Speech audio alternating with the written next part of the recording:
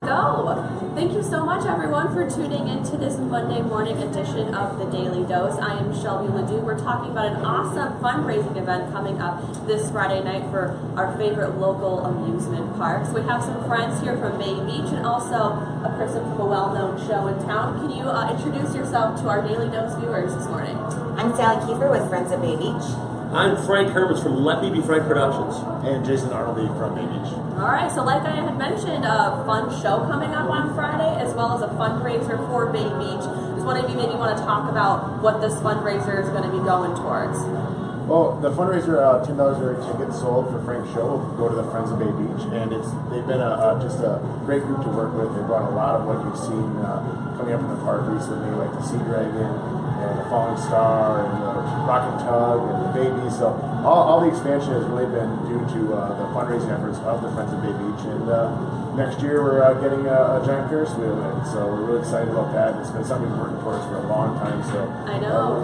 When we originally did that reporting, I think there were so many people excited about the fact of a hundred foot Ferris wheel coming to Bay Beach Amusement Park. So when is that going to be in the park? Can you tell me a little bit about that? Um, we're hoping to have the Ferris wheel ready to uh, ride uh, May of 2019 when the park opens. So this money from the fundraiser from your show on Friday is going to go not only toward the park in general, but, but some specifics to that Ferris wheel. Can you explain a little bit about that too? We just need to make sure that we have everything ready so the Ferris wheel can be put in place and the infrastructure of the park.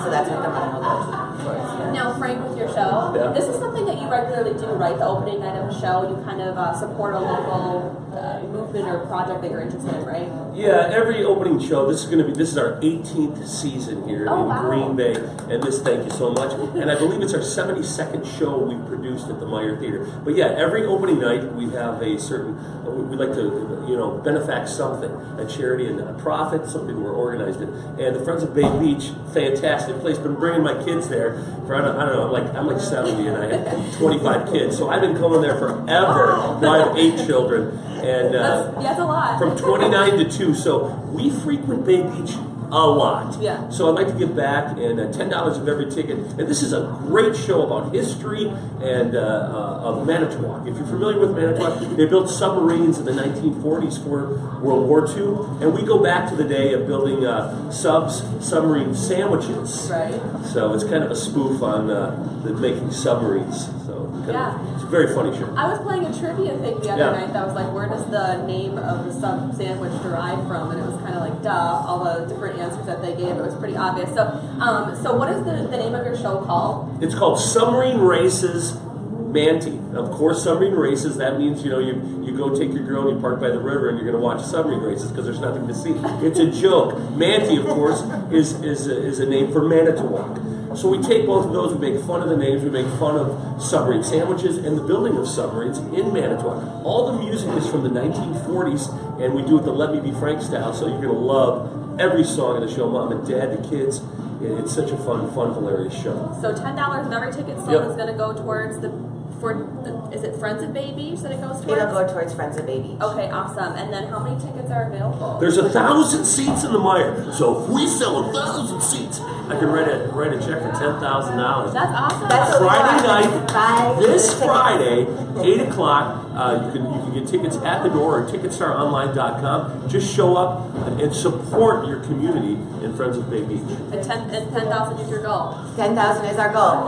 Lots of stuff yeah. going towards Bay Beach for that then. I need all my friends, all of Jason's friends, all of Frank's friends. You all have to buy tickets. So tickets online and at the door. Yeah, uh, or at the door. You come on, and it's so much fun. I mean, you, uh, if you've been to the Meyer Theater, it's a historic theater built in the 1930s, refurbed. If you haven't been out there in a while, or if you haven't seen the Let Me Be Frank show, uh, we have the top area talent. Uh, they're fantastic, and it's just so funny. I wish I could give away some of the jokes, but I'm not. Okay. Well, thank you guys so much for being here. And uh, maybe viewers drop a comment below of your favorite ride currently at Bay Beach and what you're most excited about for this upcoming season. Maybe it is the, the Ferris wheel coming in 2019, though. Yes, yes. All right, guys. Thank you so much. I think we're going to transfer into our regular broadcast, and our cameraman Jeff is going to kind of come on in here. Thank you, Shelby. Thank Thanks. you.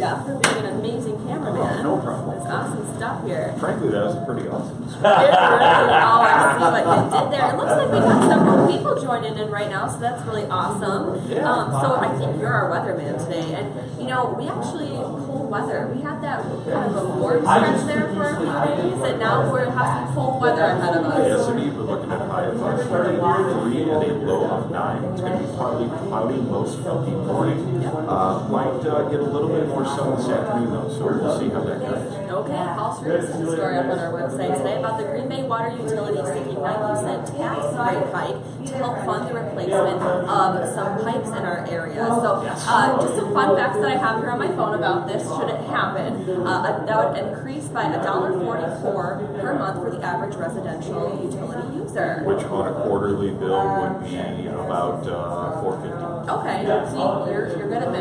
Well, also bill utility bill, water bills for Right. Green Bay come every quarter, so it, you know, that's easier to put that. There we go. And then also another fun fact too, the, u- the utility uh, system has 440 miles of pipe in the ground, some of which are over 100 years old, Jeff. De- Definitely so. So they have this on a working schedule to do some replacement, about 2.5 miles a year, and so this money would go towards the replacement of that. Very good. Uh, hopefully uh, that uh, that increase does uh, get approved and all the pipes can uh, continue. Yes, it looks like we have a comment from a viewer.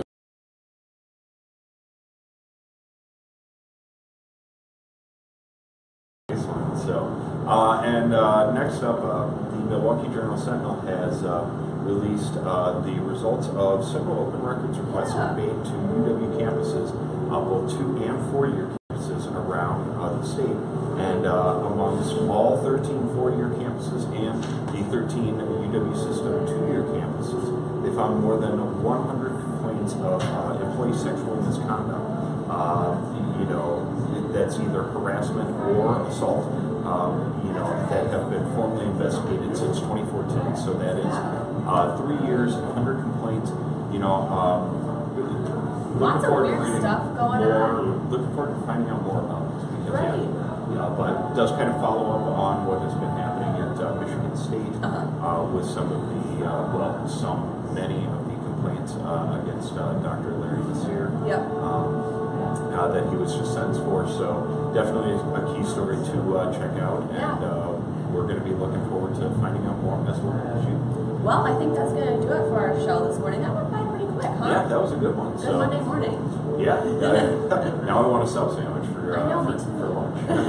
Jimmy John's or something. I don't know. Exactly. Delish. So, but uh, hey, huge thanks to uh, Friends of Bay Beach, uh, Jason from the city, Yeah. and Frank from uh, Let Me Be Frank Productions for uh, coming out here and uh, talking with us about Friday's fundraiser. So definitely a cool thing, and uh, very glad to hear that uh, there's more support for Bay Yeah, there's just lots of pride in that amusement park, and I think um, when people know that they can do something that's fun to help it out, all the more the merrier, right? Definitely so, and uh, just very cool to see. So Make thanks sure, a lot. yeah, make sure to like and share this video, and we will see you bright and early on Tuesday morning. And Jeff, it's good to have you back.